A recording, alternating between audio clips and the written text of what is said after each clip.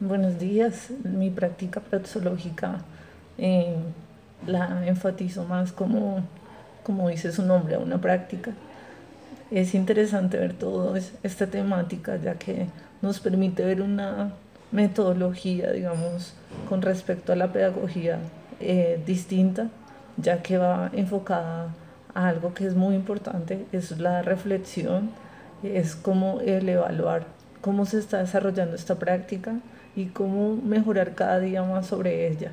Entonces, yo puedo eh, pues opinar y pues con respecto a lo que es eh, mi trabajo como docente, es que trato de enfatizar mis, mis enseñanzas, o bueno, más que mis enseñanzas, como las temáticas que corresponden y los currículos y el objetivo que se tiene en cada una de las clases, es que sea práctico a lo que ellos se van a enfrentar en el mundo laboral, porque considero que si ellos no saben a qué se van a enfrentar y solamente se queda en la práctica, pues es haría algo simplemente que se vuelve un conocimiento y a lo largo del tiempo pues se olvida pero pues con respecto ya a lo que es el día a día en el aula. Entonces enfatizo más en dos aspectos. Uno, pues en que haya un sustento, un contenido, una competencia donde ellos la adquieran con respecto a, un, tema ya.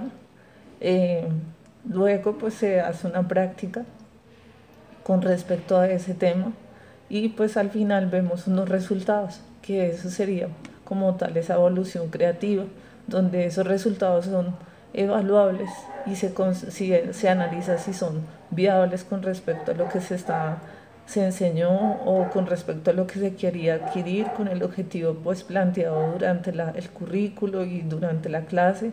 Entonces, ese es el énfasis más que todo que manejo.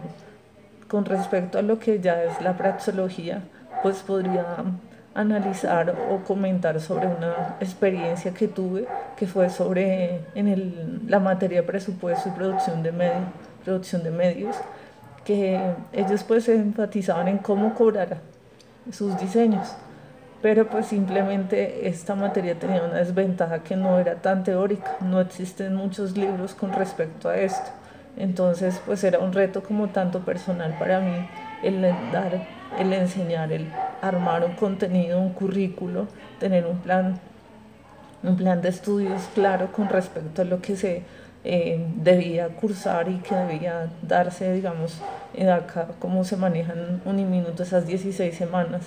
Entonces era ese desafío. Luego, pues, después de eso, empezar a, a mostrarles que había pues unos contenidos, un, un, una razón de ser y luego pues ver que cómo podían aplicarlo, cómo podían evidenciarlo para poder así llegar a una reflexión, un análisis y poder dar unos resultados finales. Entonces era muy interesante que, esta, que este, este ejercicio que se realizó en clase, pues logramos que al final ellos hicieran como un juego donde aplicaban todos los contenidos referente pues a las temáticas que se plantearon. Entonces, eh, pues la temática, como comenté anteriormente, pues era sobre cómo cobrar en diseño gráfico. Ellos pues se les explicó más o menos lo que eran los costos, lo que era em, lo que debían tener para planear, para organizar con respecto a lo que es eh, ya elaborar un proyecto y pues así saber qué necesitaban para eh, desarrollarlo. Entonces por eso se enfatizó en lo que era el como un cronograma, un presupuesto. Entonces hacían ese como checklist para poder tenerlo presente. Después identificaban aún el averiguar los costos, los materiales eh, y así poder generar unas cotizaciones al cliente pues de forma efectiva. Entonces fue muy interesante. Luego pues ellos ya empezaban como a armar una propuesta escrita de a lo que se le iba a presentar al cliente con respecto ya pues al objetivo planteado inicialmente. Y finalmente pues vimos el resultado de la presentación o la sustentación ante el cliente. Entonces esto era muy interesante.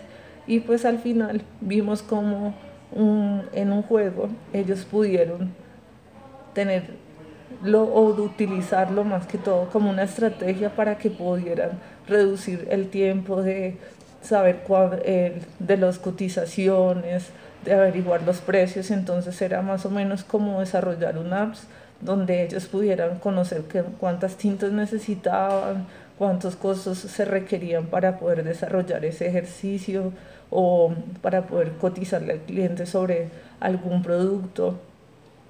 Y aún los bueno, materiales, tintas, eh, tiempo, costos, aún si se necesitaban eh, proveedores terceros con respecto a esto, podían pues darle em, ya una razón.